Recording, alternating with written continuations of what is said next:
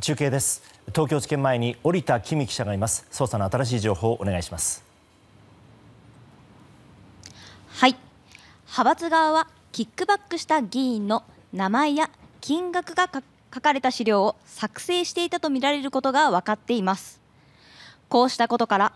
組織ぐるみで裏金作りが行われていた可能性もあり取りまとめ役である事務総長経験者にも話を聞くとみられます。収支報告書に記載されていなかった疑惑について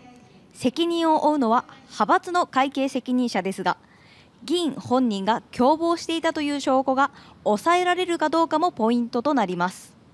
今後はキックバックを受けるなどした所属議員本人への任意聴取を近いうちにも進めるものとみられます。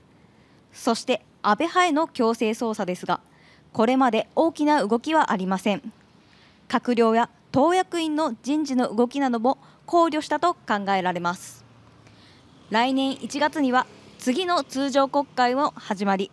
捜査に影響を与える可能性もあるためこの1ヶ月ほどが重要局面になりそうです。